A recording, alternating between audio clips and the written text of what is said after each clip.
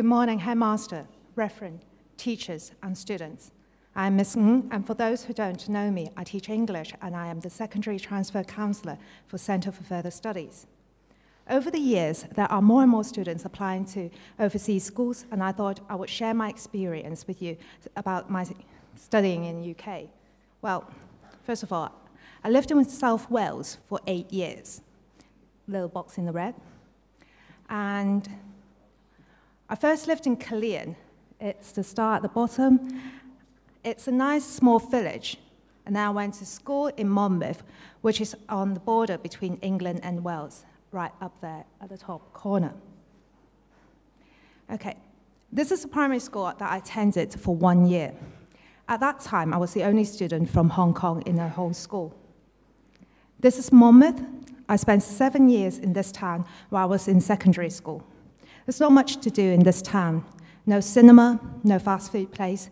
The closest were about half an hour drive away. So it's an ideal place for studying, no distraction. This is the school that I went to, Haberdashers Monmouth School for Girls. This year it is celebrating its 124th anniversary. And to be honest, the whole school, when I was there, felt like it was haunted at night. Like DBS, the school is situated at the top of the hill and it overlooks the whole town.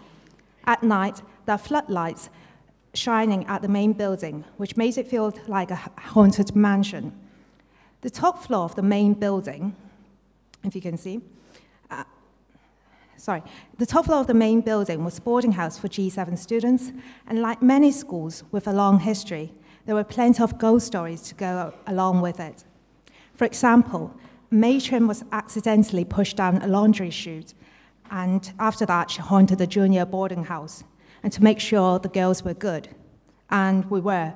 During the time I was there, none of us actually left the room after lights out. We all stayed inside in case we get caught by the ghost. When, I, when my sister and I first started in this school, again, we were the only two students from Hong Kong out of a school of around 700 students. So over the, but over the years, more students from Hong Kong joined the school, and by the time I graduate, there were about 15 students. This is my G12 form photo, with the headmistress, form teachers, and prefects sitting in the front row. I don't know whether you can find me, but I can tell you I was the only Chinese girl in the whole, in the whole photo. Photos with my friends, the school ties. The different ties represented the different houses. The dining hall with the school motto, serve and obey, to remind us all girls that we need to serve the community, serve everybody, and obey the rules. The school bridge connecting the main building to the rest of the school on the other side of the road. This is the brother school at the bottom of the town. We collaborate in drama productions, concerts, charity functions, as well as school uh, sixth form classes. We also have school, uh, official school functions with the boys' school as well. For example, the May Ball.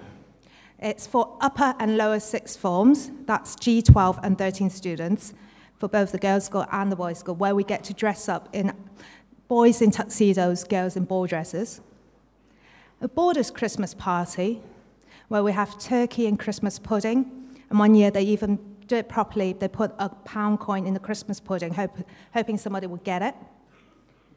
And, sorry, school is like a family where students and teachers join forces to celebrate happy events. And as you can see, I'm going to talk, tell you about one event. That was a wedding celebration. Here is a photo of students from different grades working together to prepare a surprise for a teacher who was about to get married. And a teacher, another teacher, got us the keys to the car of the bride-to-be. And both teachers and students together, we joined forces, filled the car with balloons, and cling filmed wrapped the whole car. That was our gift to the teachers to say congratulations. And here, some, of the, some pictures of my boarding life. These are some of my roommates, doormates, and photos of in junior form, celebrating birthday and stuff.